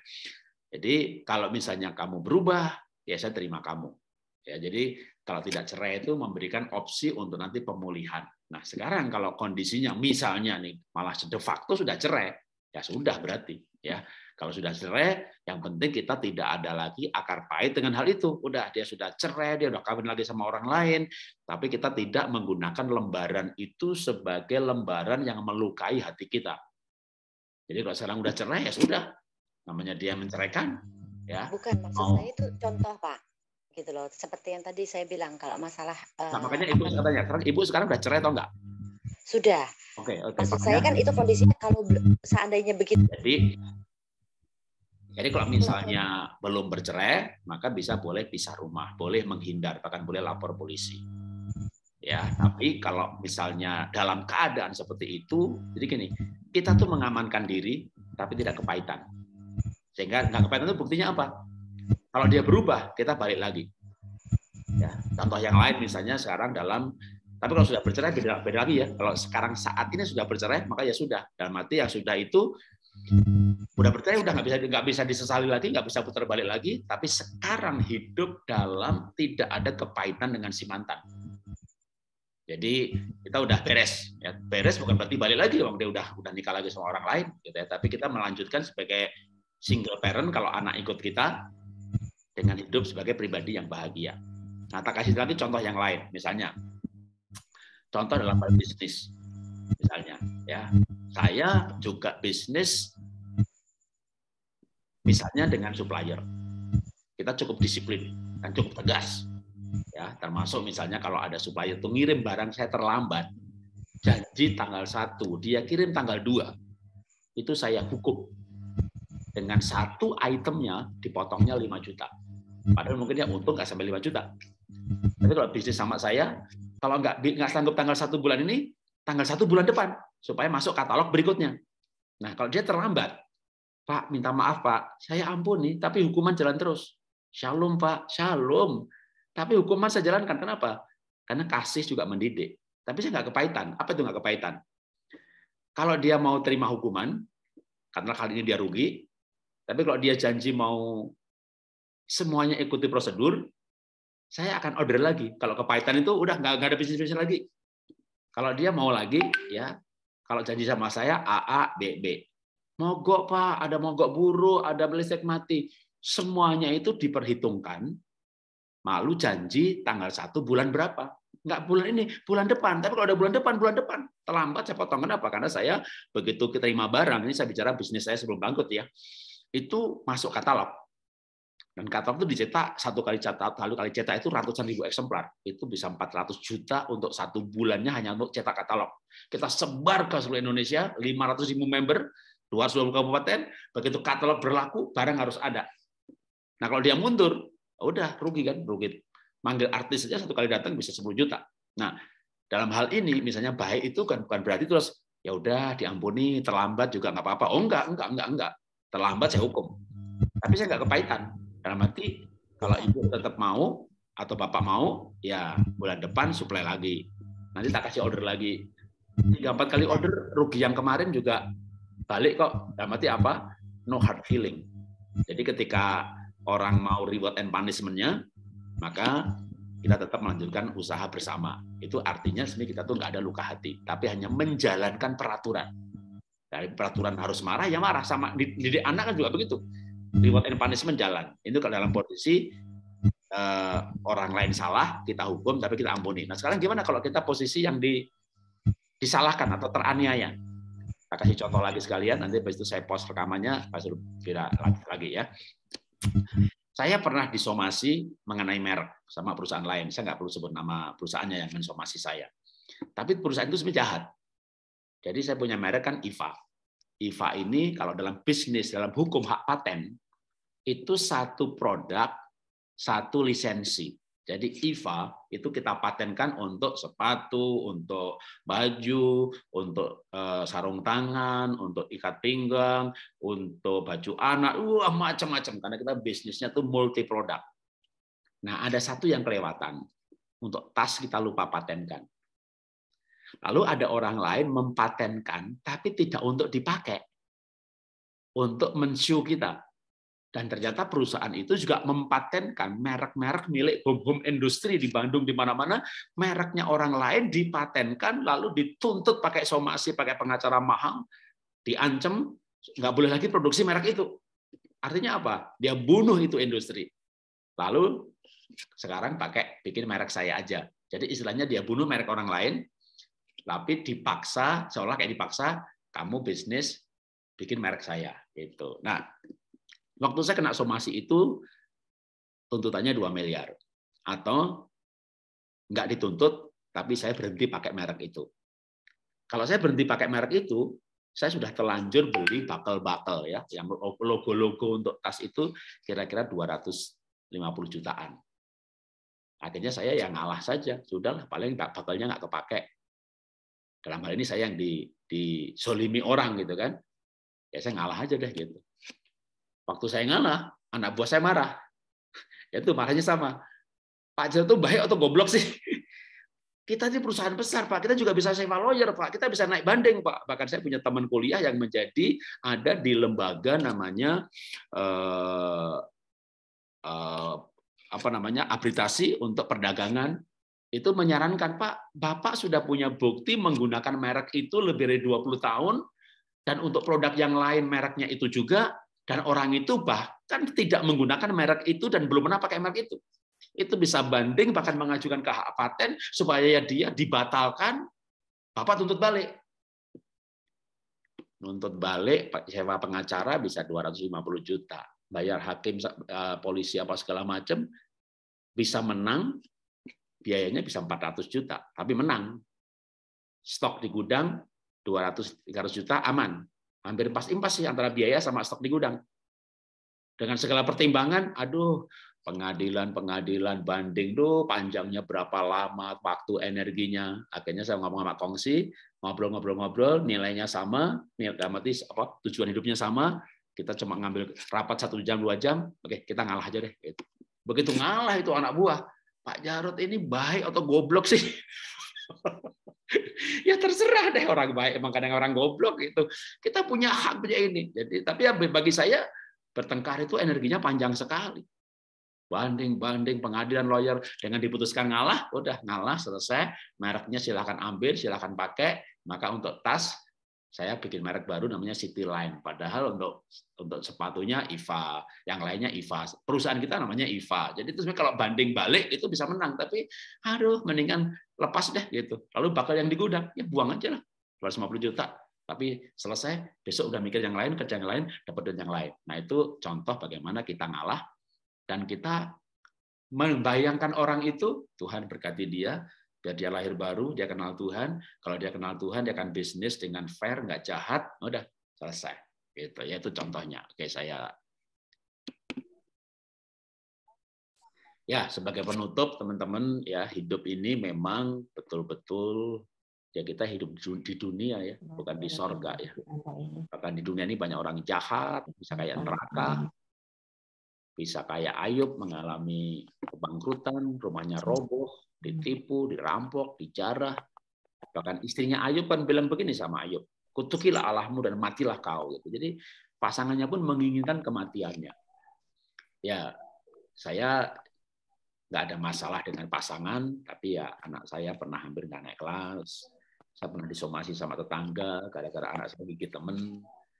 Tapi soal keluarga saya nggak banyak nggak ada masalah yang besar. Yang banyak tuh saya itu dalam bisnis ditipu ratusan juta sampai ditipu miliaran, bahkan sampai rugi yang ratus miliar.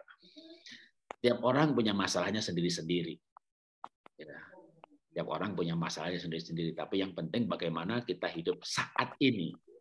Kembali saya hanya mengulangi apa yang dikatakan oleh John Kabat-Zinn ya.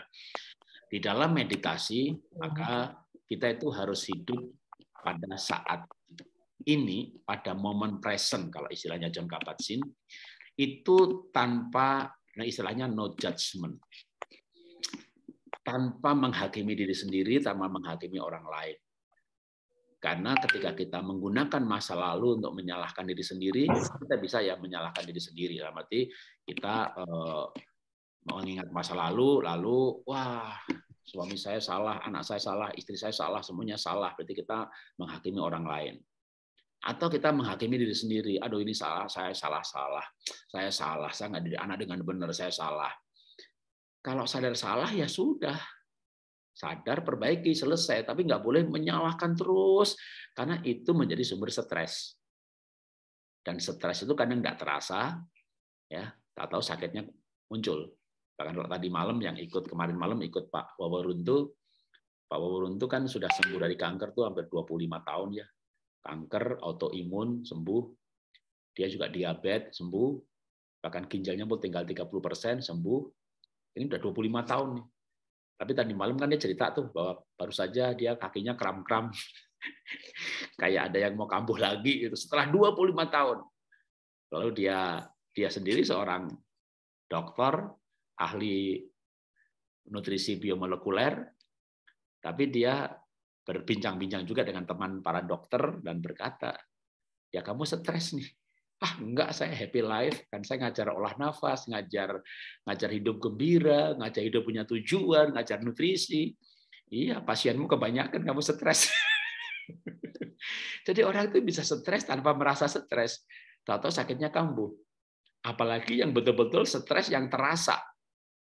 Dalam arti apa? Itu terutama tuh stres yang terasa itu masalah yang nyata dihadapi seperti masalah masa lalu, kalau keluarga ya perceraian, kalau usaha ya kebangkrutan, apalagi bangkrutnya sampai habis.